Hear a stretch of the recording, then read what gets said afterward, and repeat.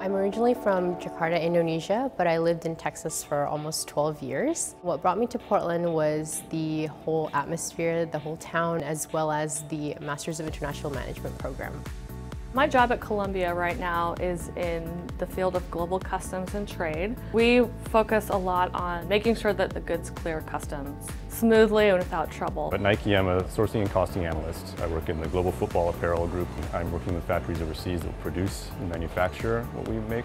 I always kind of said I would never do an MBA, but something about that cultural component, there was just more depth to it. What is a company's responsibility? How far does their responsibility for their products extend? There's coursework that the International Management Program had where you're able to dive into some of those issues within a classroom that has people from multiple different countries and multiple different perspectives. I just love the international aspect of the program, such as learning a new language, because we have a choice of either learning Japanese or Chinese, as well as the Asia field trip, which is a really exciting three-week trip. The MIM had that connection to Asia, and it really fit for what I was looking for in a graduate program. Before I came to the MIM program, I had the cultural background, I would say. I lived in Asia for a little while and studied Japanese as an undergrad. What I did not have were the business fundamentals. I think the Master of International Management program, of course, goes beyond a single function. That collaborative nature that we are building constantly within the program. I think that's really one of the biggest things. What I find myself applying every day in my job and looking back to when I think about the program are soft skills as well as more technical skills. One thing that I love about the MIM program is making